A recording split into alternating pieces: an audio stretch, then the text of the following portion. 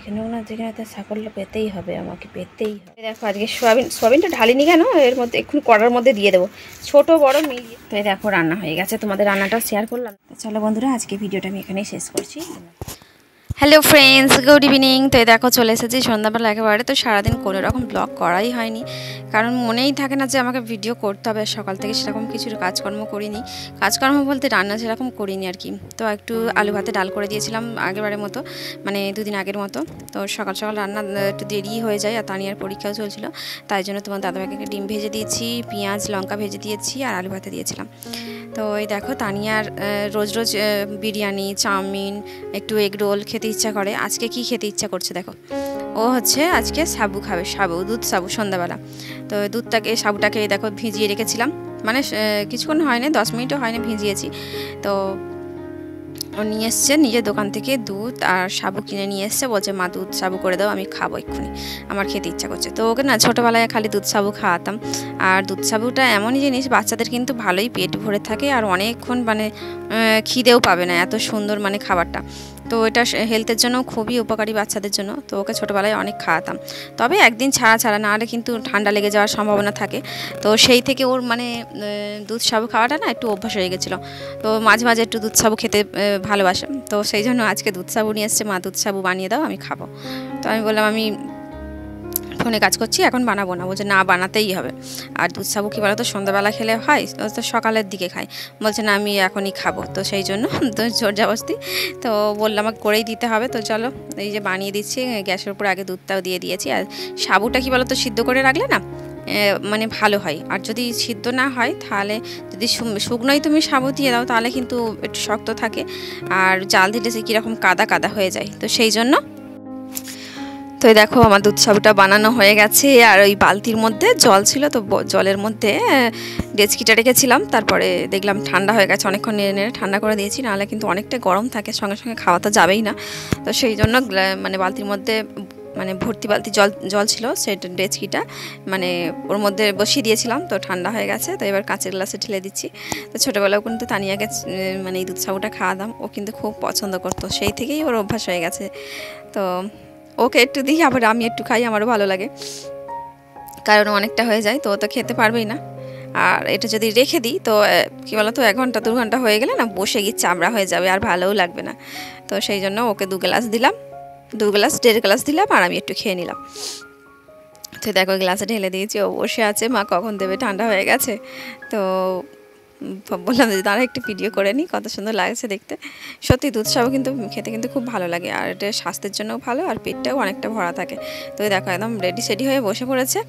আর তো এক্সাম হয়ে গেছে শেষ, তো আজকে পড়তেও যায়নি আজকে ছুটি। এখন দুদিন ছুটি, পড়তেও যাবে না, আর ঘরেও পড়তে বসবে না বলে অনেক পড়াশোনা করে নিয়েছি, একটু আমাকে রেস্ট নিতে দাও। তো পড়বে না, যাই হোক, খাওয়া দাওয়া করে এদিক ওদিক ঘুরবে, কাকিমার কাছে যাবে, কাকিমা ভাই ওপরে থাকে, তো সেখানে একটু বসবে টিভি দেখবে, এই করবে আর কি করবে। তো দেখো ওকে দিয়ে দিলাম, আর এই দেখো ডেস্কির মধ্যে এখনও অনেকটা আছে, দেখতে পাচ্ছ? অনেকটা। অনেকটা হয়ে গেছে। তো আমার তো ভীষণ ভালো লাগে, ভীষণ ভালো লাগে। খুব, কি বলব আর? তোমাদের কার কার পছন্দ? এই দুধ সাবু অবশ্যই কমেন্ট করে জানাবে। তো খাওয়া হয়ে গেলে এখান থেকে আরেকটু দিয়ে দেবো। দেড় গ্লাসের মতো দিয়ে দেবো, কারণ এখানটা অনেকটাই আছে। একসঙ্গে অনেকটা হয়ে গেছে। তো ছোট প্যাকেটই এনেছে, কিন্তু সাবুটা এনেছিল অনেকটা। দশ টাকা না, পনেরো টাকার মতো সাবু এনেছিল। তো আরেকটু জল দিতে হয়েছে। চলে এসেছি এখন বাজে হচ্ছে এগারোটা। মানে দশ মিনিট সরি পাঁচ মিনিট বাকি এগারোটা বাজতে পাঁচ মিনিট বাকি। তো আমি ভাতটা বসিয়েছিলাম সাড়ে দশটার সময় ভাত হয়ে গেছে তো এখন আমি বানাবো সোয়াবিনের তরকারি আর ঢেঁড়স ভাজা। তোমার দাদাভাইও এখনও আসেনি আসবে সেই সাড়ে এগারোটার সময় আসবে।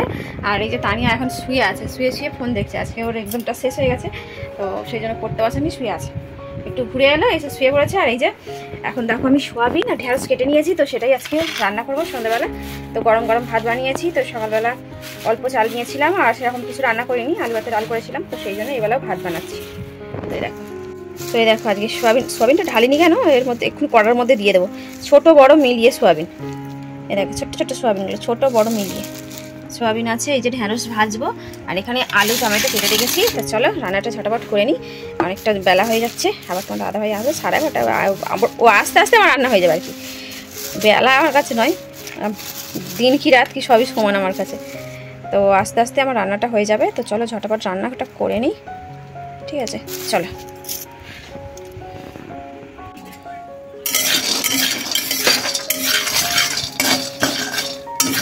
শুকনো কড়ার মধ্যে তেল দিয়েছি নাহলে কড়ার মধ্যে তেল দিয়ে সবই নেবে মানে হোমোগো সব তেল তেল নেবে। এত তেল খাই সবই ওই জন্য শুকনো কড়ার মধ্যে তেল দিয়ে সয়াবিনটা ঢেলে দিই শুকনো কড়াই একটু তেল দিই সামনে একটু তেল দিও দেখো একটু কড়াটা গরম হয়ে যায় তোমার দাদা ভাই মাত্র বাড়ি এলো এই যে এই সবে বাড়ি এলো। সবাই বাড়ি এলো আবার কি বাজার করে নিয়ে এসছে দেখো। বাজার করে নিয়ে এই যে ডাঁটা আর আলু বেগুন, তো যুক্তি ফুল আছে, কালকে রান্না করব। যুক্তি ফুল চেনো তোমরা? যুক্তি ফুল হচ্ছে ওই তিতকাঙ্গা ফুল যেটা বলে, ওইটাই হচ্ছে যুক্তি ফুল। এই যে দেখো, ডাঁটা এনেছে কালকের জন্য, বুঝেছ? আমার এই দেখো, তেল দিয়েছে, কিন্তু তেল একটু টানেনি দেখো। নাহলে একটু তেল আমি শুকনো করার মধ্যে সোয়াবিনটা ভালো করে নেড়ে নিয়েছি, নিয়ে তারপর তেলটা দিতে তেলটা আনে দেবো, তাই না? সবজি ভাজা হয়ে গেছে, নামিয়ে নাড়া পুড়ে যাবে। করে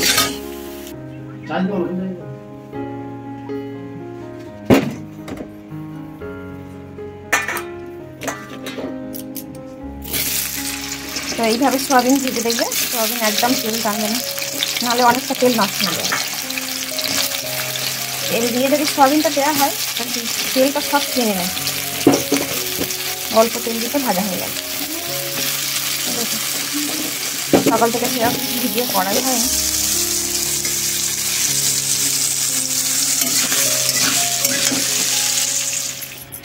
তো দেখো, রান্না হয়ে গেছে। তোমাদের রান্নাটা শেয়ার করলাম না, কারণ সোয়াবিনের তরকারি আর কি শেয়ার করব? তোমরা সবাই পারো রান্না করতে। তো এই যে সোয়াবিনের তরকারি আর এই যে ঢ্যাঁড়স ভাজি। ঢ্যাঁড়স ভাজাটা কিন্তু খুব ভালো লাগে। রুটি বলো, ভাত বলো ঢ্যাঁড়স ভাজা হেভি লাগে। এই যে তোমার দাদাভাইকে ভাত বেড়ে দিয়েছি, আর তা নিয়ে হচ্ছে নিচে ভাত খেয়ে নিয়েছে কাকিমার কাছে। তো এখন আমি ভাত বেড়ে নিচ্ছি। তো ঢ্যাঁড়স ভাজা কে কে খেতে ভালোবাসো অবশ্যই কমেন্ট করে জানাবে। আমার তো হেভি লাগে। চলো বন্ধুরা, আজকে ভিডিওটা আমি এখানেই শেষ করছি। তোমরা সবাই ভালো থেকো, সুস্থ থেকো, সাবধানে থেকো, আর ভালোবেসে পাশে থেকো। এইভাবেই সাপোর্ট করো। ঠিক আছে? চলো, টাটা। দেখা হচ্ছে একটা নতুন ভিডিও নিয়ে। ঠিক আছে?